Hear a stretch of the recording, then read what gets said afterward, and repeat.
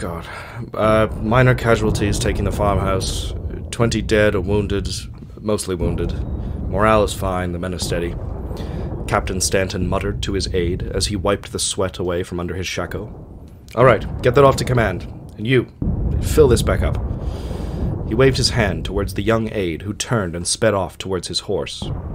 Another young aide took the captain's canteen and proceeded to top it off with brandy from the company's stores. Stanton's company of some 200 soldiers were milling about under a small cluster of trees, some lying down, others relieving themselves, and a few men tending to light flesh wounds they had received earlier in the day. The air reeked of gunpowder and blood, and the constant firing of cannons concealed the sound of a messenger riding hard towards the company. Where's your commanding officer? The messenger yelled to a cluster of soldiers who were sat around, adjusting the primers on their muskets. Captain Stanton strode towards the messenger, replacing his hat and offering the man a salute. You're the captain, then? The man barked. Aye. Status? Just sent off to command. Are you fit to join an assault? The French line is falling back, and the third hill, the general has ordered an assault to dislodge a battery of 24s. The messenger shouted out, competing with the shouts, cannon, and cries of the battlefield. He was waving his right hand wildly about, pointing to a ridgeline not far from when the men were conversing. Minimal casualties. We're fit, Stanton shouted in reply. Grant, be off. Assault's already underway. Written orders, if you need them. The messenger yelled, and handed a folded up slip of paper out towards the captain. Up and at 'em, boys. We're going in again. Bayonets on. Stand to. Let's go. Stanton began to yell as he walked away from the messenger, who was galloping off back to where he had come from. The company began to rush about, and in under two minutes they had dressed the line and were facing towards their target. Captain Stanton had taken up his position on the left side of the formation and laid his sword onto his shoulder. He turned and nodded to the company musicians who struck up the British Grenadiers, and the company began to advance in step with the music. Let's hear a song, boys! Stanton cried out, and the company responded with the opening of the march.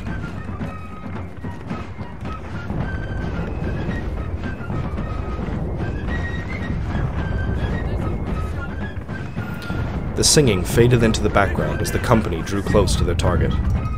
The rumbling roar of the cannons made Stanton's ears ring, and the beating drums and shrill flutes of the companies that had fallen in next to his confused the melody of the song. A battery of horse-drawn 12s was trying to form up to Stanton's right, but were taking heavy fire from the French battery on the hill, which was proving to look a promising target as the French companies were being drawn off. Stanton's men were on the furthest right of the line, and perfectly lined up to storm the battery while the companies to the left pinned the French line in place. His heart began to beat rapidly as the lines drew closer to one another. He had soldiered for some twenty years, but the closing of two lines never failed to force a prayer and thoughts of home into his mind. A deafening crack broke out in Stanton's left ear, and the cries of wounded were sent up to heaven immediately following. The lines on his left had closed. The French battery was still focused on the English 12s, and Stanton's men began to ascend the hill. Not until you see the whites of their eyes, boys, Stanton screamed out, and the order echoed down the company line. The redcoats drew up at an angle to the battery, and Stanton called the company halt. The front line dropped to knees as the two facing lines aimed their muskets forward. Drifting smoke from the battle had begun to obscure the battery, and if they didn't fire now, the volley may prove useless. Aim! Fire! The crack of muskets rang out all along the line. Stanton drew his pistol and pointed his saber towards the battery. Forward! he cried, and the line broke as the company rushed forward with bayonets down. Stanton ran into the smoke that had enveloped the battery and began coughing as his eyes began to water. He knew he was running in the right direction, and the flashes of red in his peripherals and the cries of God save the King let Stanton know he was still with his company.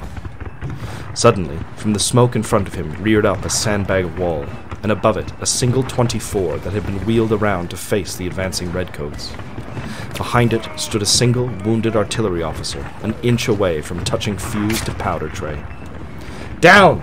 Stanton yelled, more to himself than to anyone else. His heart sank and his mind raced.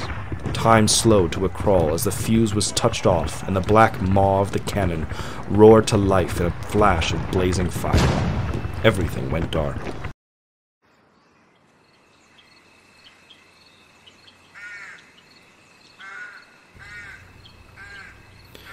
Pain was the first thing that Stanton felt as he came back around. His shoulder and his whole left side were burning with the fires of hell, and he opened his eyes slowly. It was dark, with only the faint glow of the moon lighting the night sky. It smelt of blood, of death, of burnt and mangled flesh, a cacophony of moans and groans, punctuated by screams and faint crying, assailed Stanton's ears, which still rung.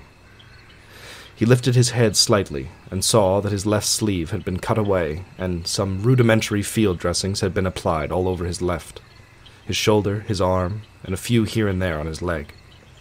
He tried to move his left arm, but all that came of it was more searing pain.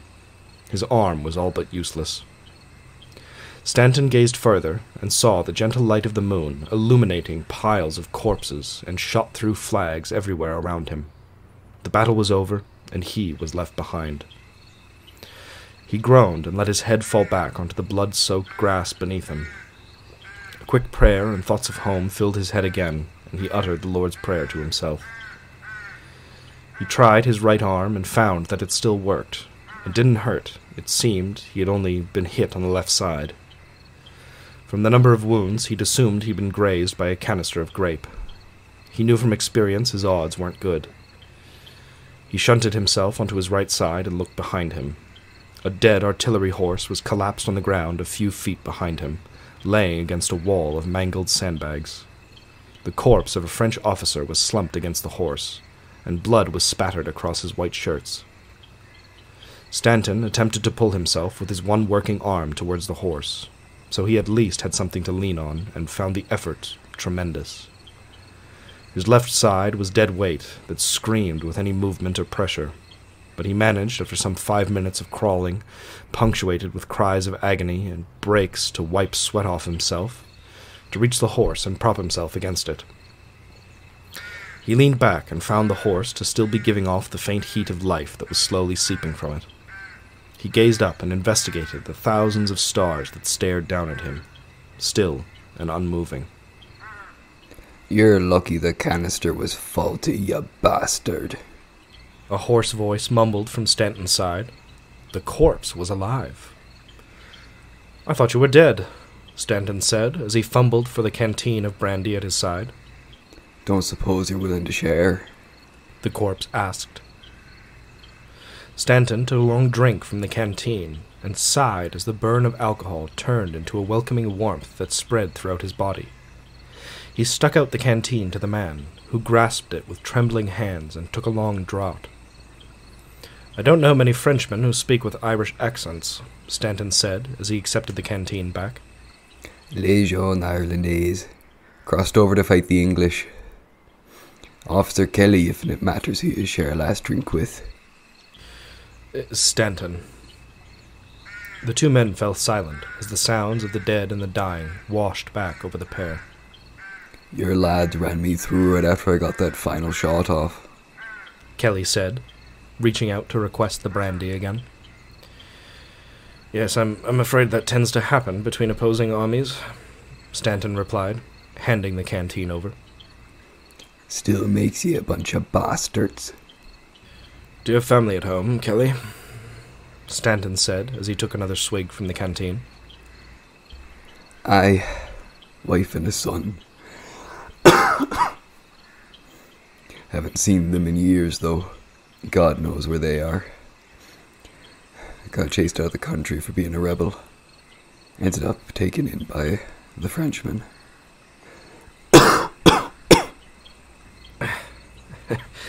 I have a wife as well back in London. We're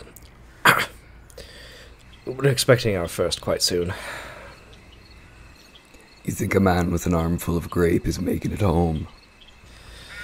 I can do nothing but hope. I lost hope a few hours ago. I'm well done in at this point. Here, uh, let, t- let me take a look. Stanton said, and he shuffled himself slightly towards Kelly, his arm burning all the while. Kelly's left hand was holding a fat wad of blood soaked gun cotton to a nasty, sputtering wound in his stomach. A nasty business, those bayonets. You're telling me. Well, I can at least dress it fresh. Would you have a knife? Left boot. Rig a knife in there. I'd fetch it for you, but I'm a bit indisposed.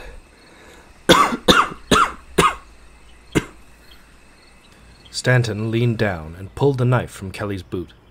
He hoisted himself halfway onto the dead horse and cut a long strip off the saddle blanket before slumping back down next to Kelly to regain his breath. Uh, now then, can you lean forward? Aye.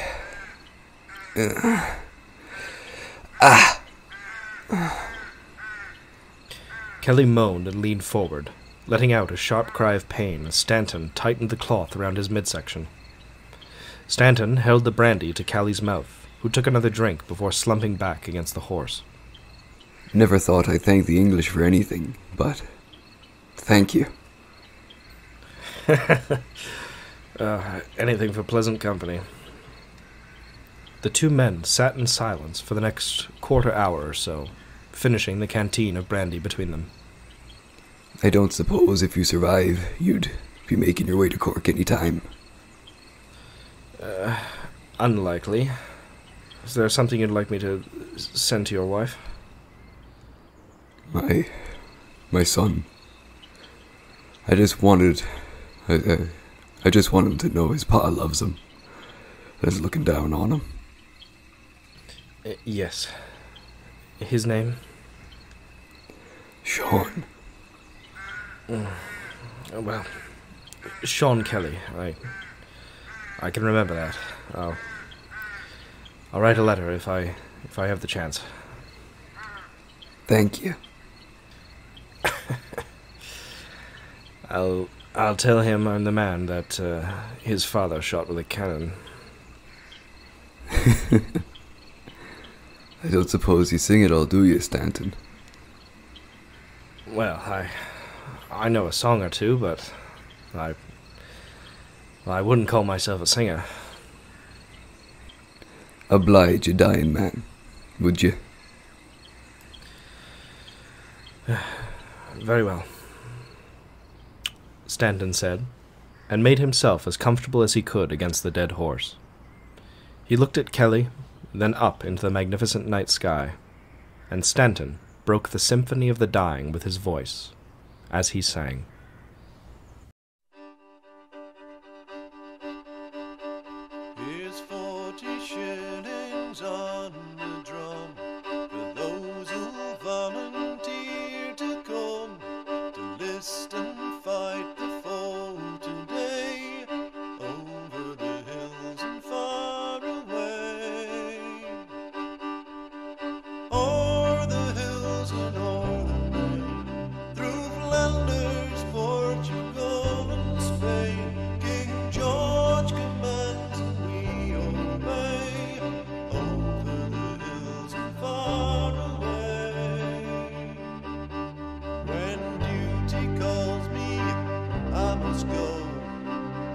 done.